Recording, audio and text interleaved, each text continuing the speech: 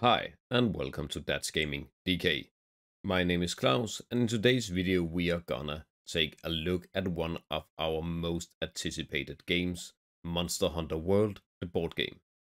So if you have followed the channel for some time, it's not a big surprise that we are very big Monster Hunter fans. When we started out the channel uh, about a year and a half back, most of our content was Monster Hunter Ultimate, Monster Hunter Rise, Monster Hunter World, etc. So we were of course more than excited when it was announced that Steamforged Games was doing a Monster Hunter board game. Now we have the possibility to actually try a early demo out on Tabletopia, and we thought that would be a perfect uh, opportunity to create a how to play video that can guide you through the different rules of the game. Please be aware that this is an early, de early demo that was used during the Kickstarter campaign, so this is not the final product and the modules is not complete. So before we go to Tabletopia and get our teeth into the game, please like the video and subscribe to the channel. It is highly appreciated.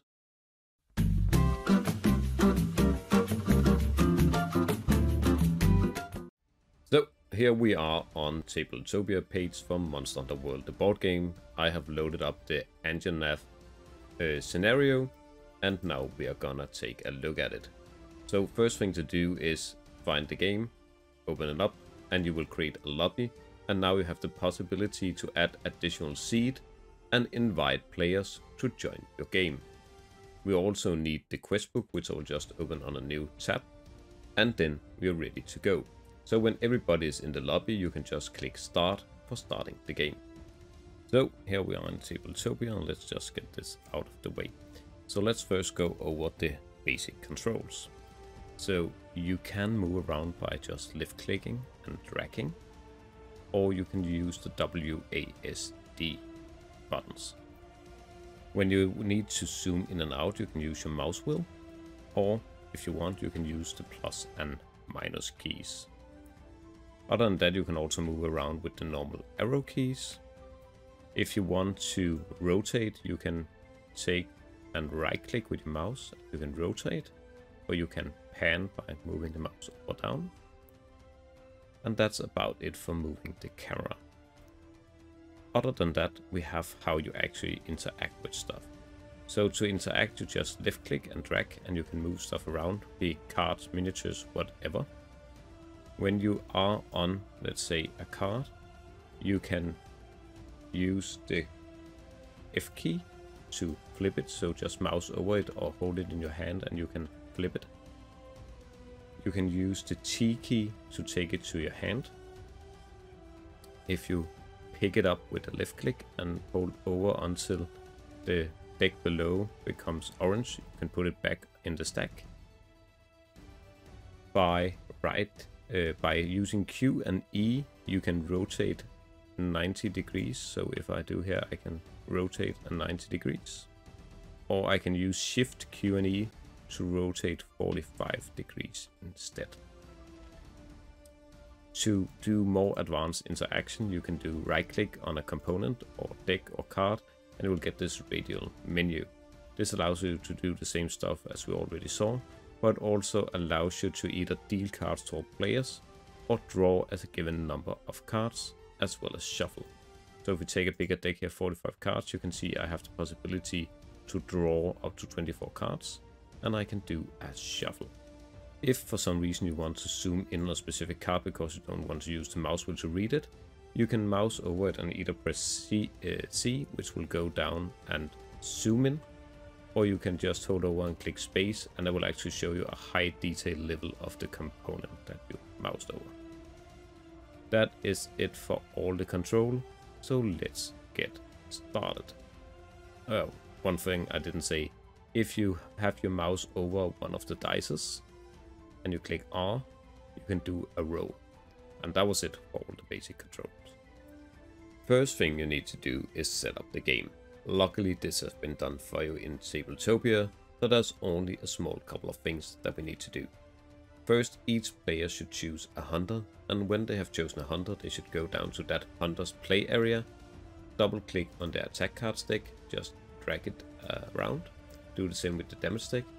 and this is to ensure that we don't see a bug that can occur where half the deck is getting stuck under the table, preventing the player from drawing the cards. Afterwards just give the decks a good shuffle and then take a token from this screen back. That is gonna be your Hunter's activation token, which is also gonna give you the threat value. Other things that we need to set up is give the, the um, elemental damage deck as shuffle.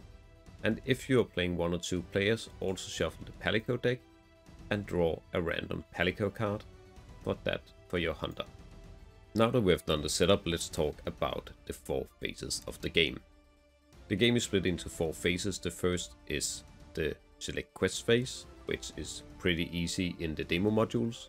The second phase is the gathering phase, which is only available in the Anjanath module, which we have loaded up here. The third phase is the hunting phase, which is the phase that you play on the main board and use your miniatures.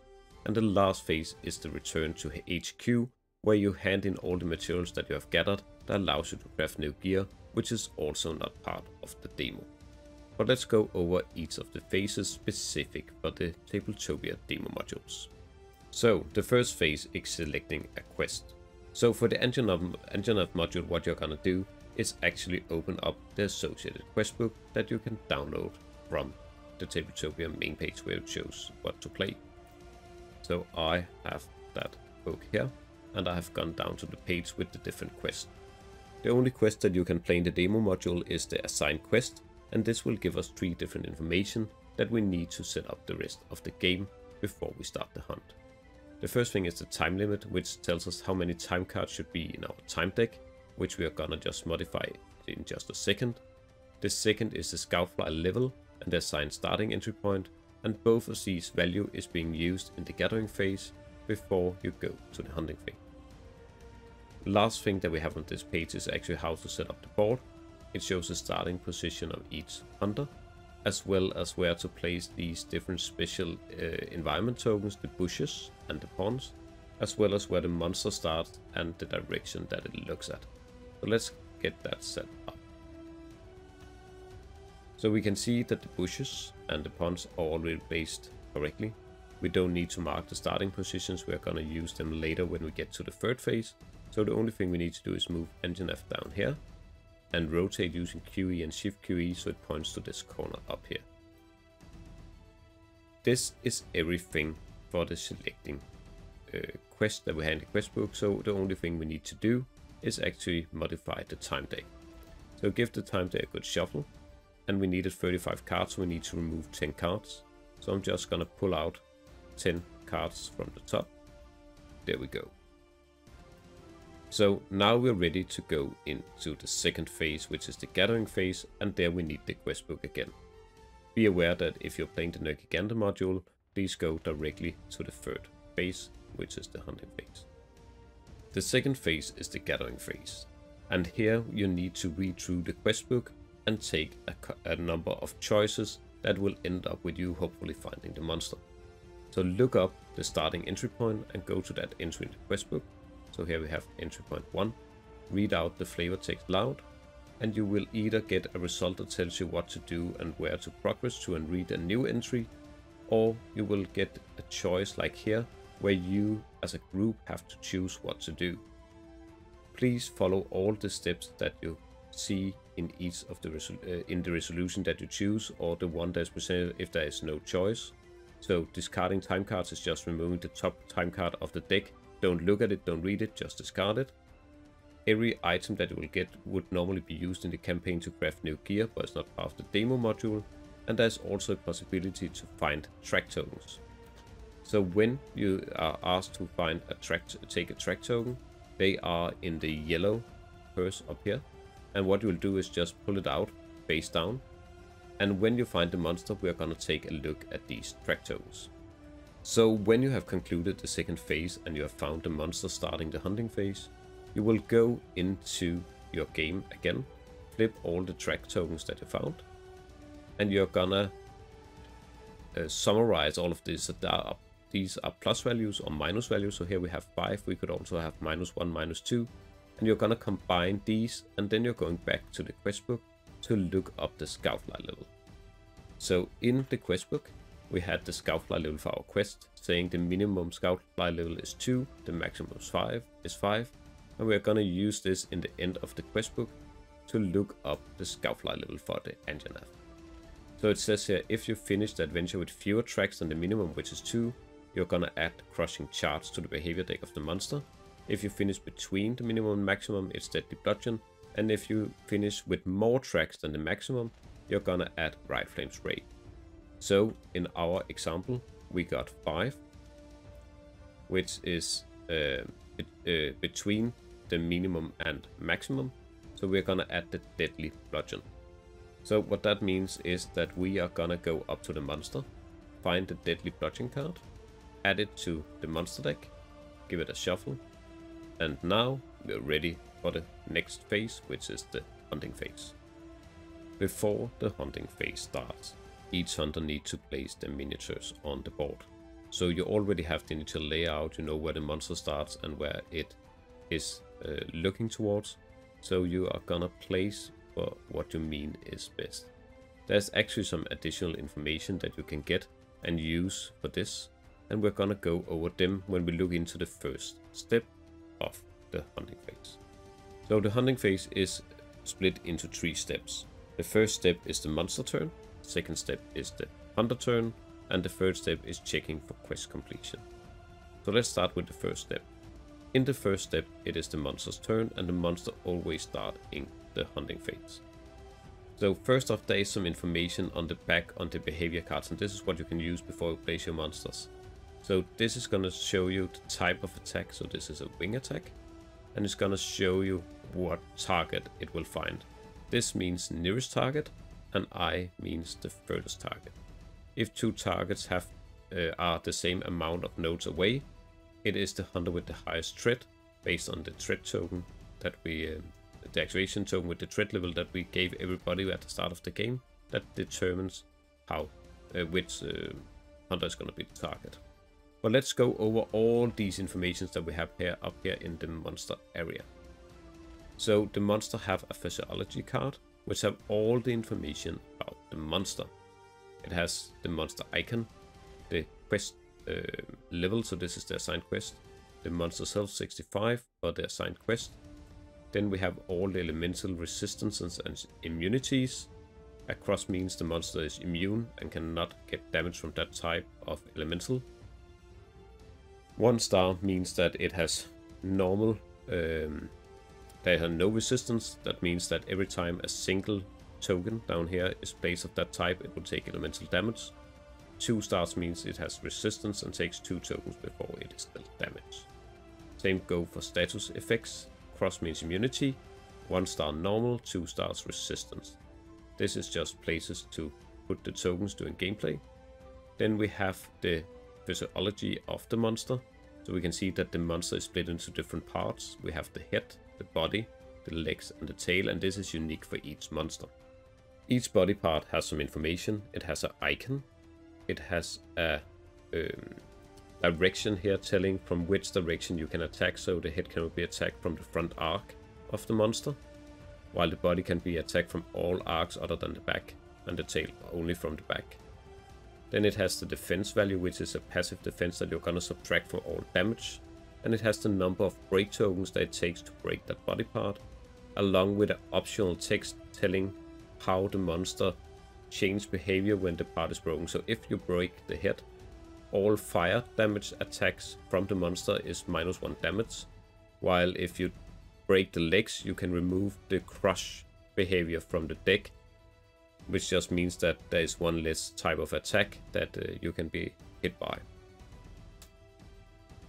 All of these are the tokens that you use for elemental damage and status condition during gameplay. These are break tokens and these are broken tokens that you put on these fields when you have the accumulated number of break tokens that the physiology card tells about.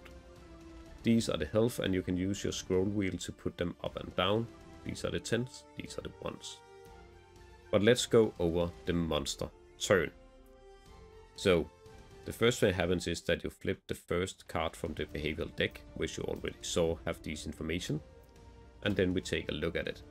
There is a lot of information on these cards and it's pretty important that you know all of it, but it's pretty easy when you get the hang of it.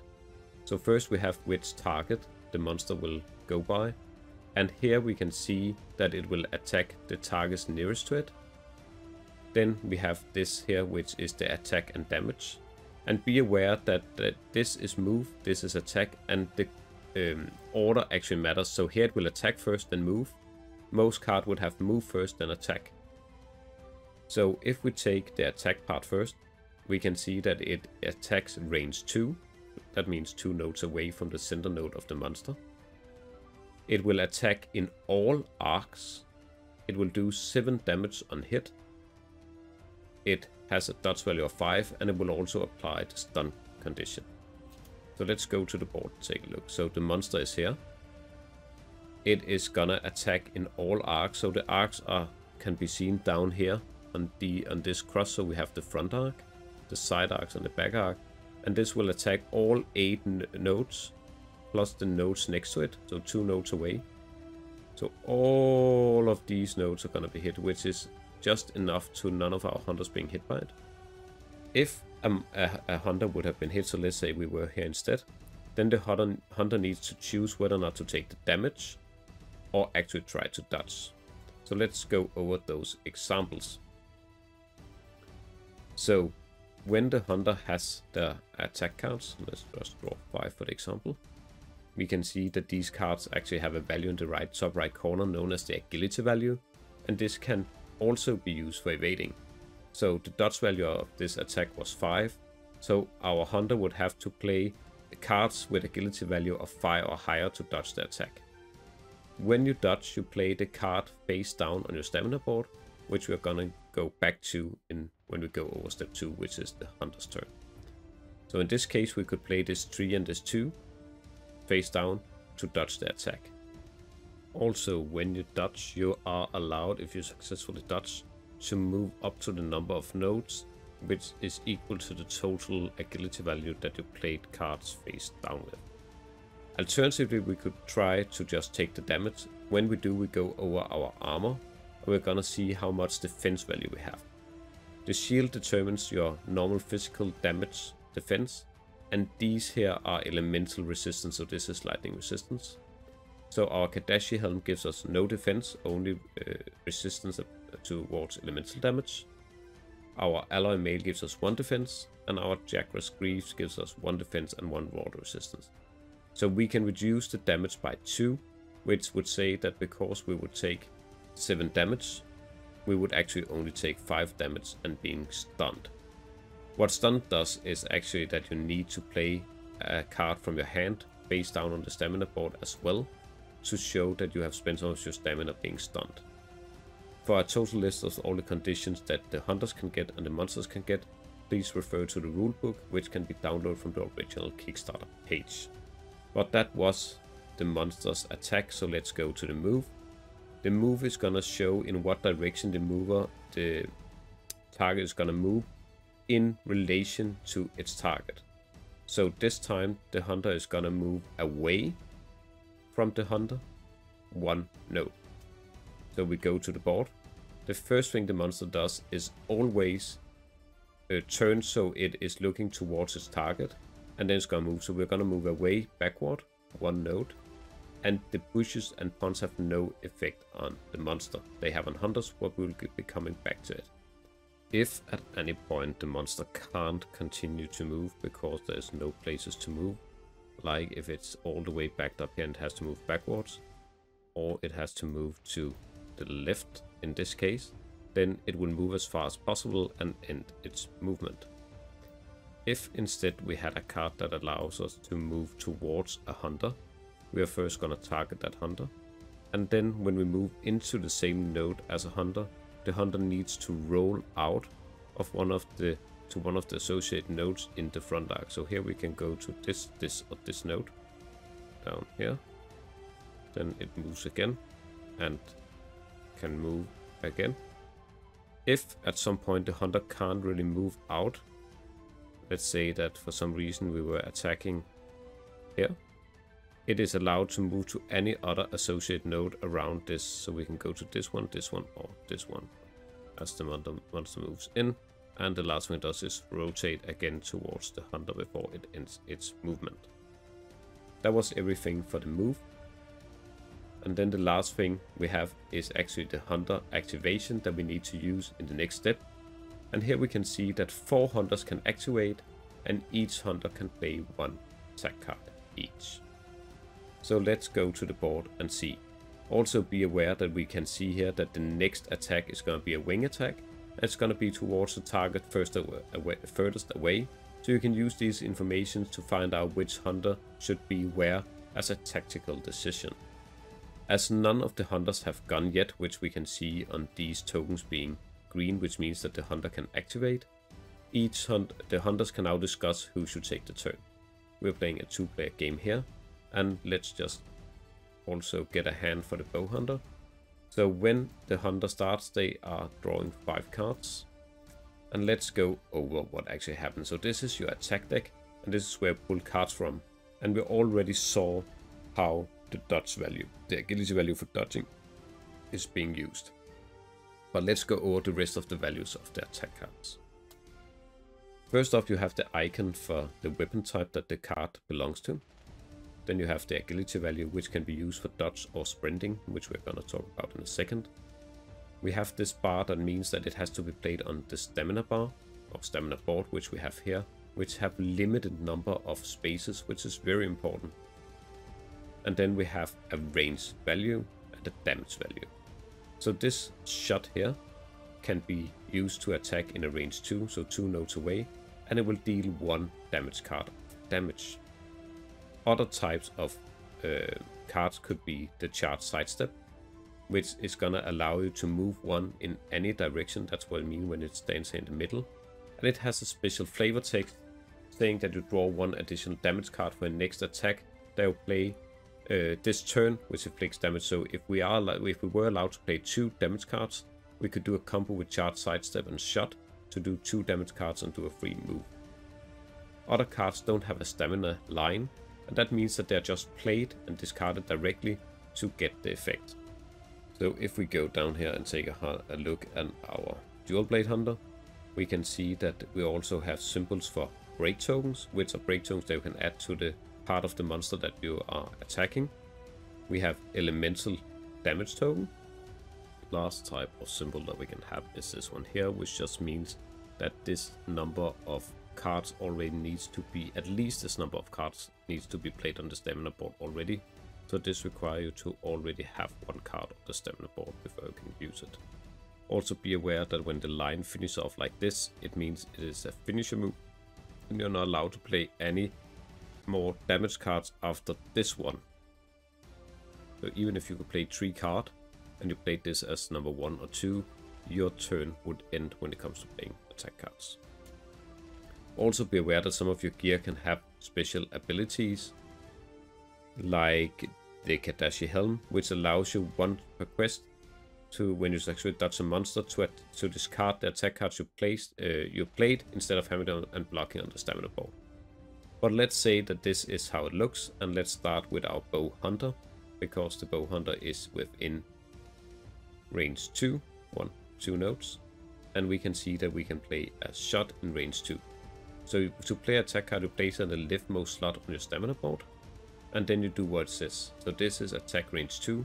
We're gonna see what arc we're in, and we are in the back arc, which means when we go to the hunter card, that we can only attack the tail.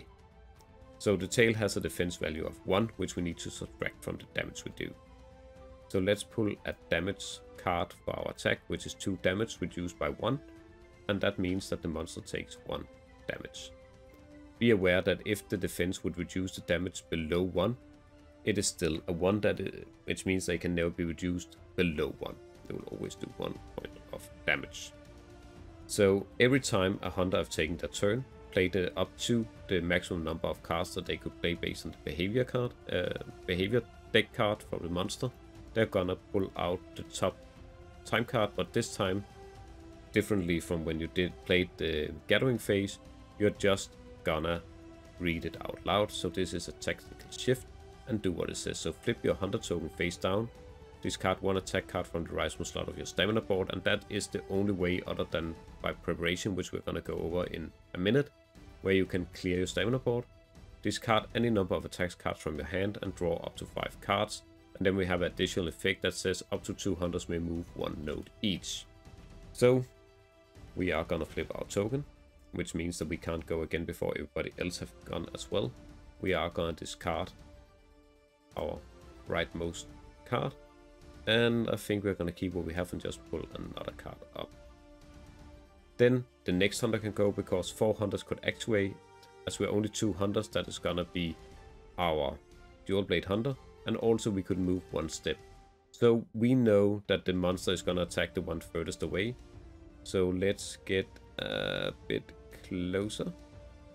Just to ensure, no, let's just go down here and our Dual Blade Hunter wants to move as well. So now it is our Dual Blade Hunter's turn, and let's go over another rule, which is actually movement. On a Hunter's turn, they have what is called a walk, which is a free one-node movement that they can take to get closer or further away or whatever they want. They also have the possibility to sprint, which is done by playing an attack card for the agility value allowing you to sprint that many uh, nodes, so playing this will give us face down is gonna let us allow to sprint 2. If at any time a hunter enters a pond, that is gonna um, remove sharpness from the weapon, so the hunter needs to discard the top card of the damage deck without getting the damage. If a hunter ends the movement in a bush, they're gonna get their threat reduced with minus 4, and you can use this to actually better determine which hunter is gonna be attacked by the monster the next turn. But as we have a free walk and a tactical shift, we are just gonna go here anyway. We're only allowed to play one attack card, so let's play our Shocking Rush. That is 2 damage, we can move one field afterwards. We do 1 lightning damage plus an additional one if it's the first card uh, attack card you played this turn, which it is. So we are in the front arc, so we're attacking the head or the body. So let's go up and check. I think we're gonna try and break the body. So that is two damage cards. The head has defense 2. So 3 plus a 1, that's 4, minus 2, that's 2 damage to the monster. And then we also did 2 lightning damage. So we're gonna place 1 lightning damage, and we can see it has resistance, so that does nothing. But when we add the second one, it would trigger, which means that we do elemental damage. So go down, find the elemental damage deck, take the top card, and that is damage dealt directly to a monster that ignores all defense. So another 2 damage dealt. Then our hunter has taken his turn, so he will draw the top card of the time deck, which is a threat shift. so flip your hunter token, discard one card from the board, discard a number of cards in your hand, draw up to 5, and all players pass their hunter token to the player to the left that means. And you should of course still, so if it's flipped, it should flip back. So when a hunter flip a token and all tokens are flipped, all flip them back to active. Then we do the threat shift. And now we still have two activations. So because both hunters are active, our uh, dual hunter could go again, or the bow hunter could go first and then the dual hunter again. So a couple of more things to go over. First of all, we have the Palicos. The Palico is a special action that you can use once per hunt. So here we have the Wrath of Meow, which allows us to say if the hunter is within 3 nodes of your hunter, you can draw 3 damage cards as if you result of attack. This doesn't count towards your attack deck, but it is a one-time use. also, when your damage stick is depleted, you can no longer deal damage, which means uh, your weapon has gone blunt, and all your attacks are gonna do zero damage. To get your damage stick back you need to sharpen your weapon and that is done by taking a preparation action instead of an attack. So when you do a preparation action you are allowed to do a couple of things. First of all you can still walk, you have one free walk. You can still sprint by playing a card face down. You can drink a potion which we're gonna go over in a second and then you can sharpen your weapon which means that you just take all your attack cards make a new stack and shuffle, and then you're ready again. So when you drink a potion, you will heal up to full health, and the health of the hunters is here, so you can use the mouse wheel to scroll up and down. You will heal up to max health, which is um, 8. And then you will clear your stamina board, and you're ready to go again. The last thing that we need to talk about is fainting. So if you at any time a hunter is reduced to zero health, they will faint. And when the hunter faints, their miniature is removed from the board, and you just discard two time cards without reading them. That is the time that it takes for a hunter to be carted and get back into the fight. You also clear stamina board and get back to full health when you have fainted. You only have three faints, so on the third fade you fail the mission, and you can also fail the mission if you run out of time cards. When it becomes that hunter's turn again, the hunter chooses where to place the hunter on one of the four starting locations uh, located on the board shown in the quest book, and they continue as usual. If at any time you do an attack that actually adds break token, you will just add one of these crosses here, and when you hit the amount of break tokens needed for that part, you're gonna replace them with a actually broken token, and then the new status of uh, this text here for the broken uh, part is gonna be in effect for the rest of the game. If at any time you reduce the monster to zero health, you have won, and you're going to the last phase. So the last phase of the game is the return to HQ where you actually get your rewards. So the way this works is that you actually flip this card here and you will uh, roll the dice to find out what you have actually found. Again, in the demo you can't really use these things to anything because we don't have the possibility to craft new weapons, so it doesn't really matter in this demo module. But that was everything for how to play the demo module in Tabletopia. So there we are, that was all the rules and our explanation of how to play both phases of the game. We are really looking forward to this game hits the market later this year, hopefully, or uh, early next year. But this is a really good opportunity to try it out, and we hope that this was a helpful video so you can start playing and trying out the game yourself. We also hope that some of the experience we have with Tabletopia and some of the tips and tricks can help you get a more smooth gameplay when you try it out yourself. As always, if you have any comments, please write them in the comment section below or go join our Discord where you can ask questions or just join the conversation in general.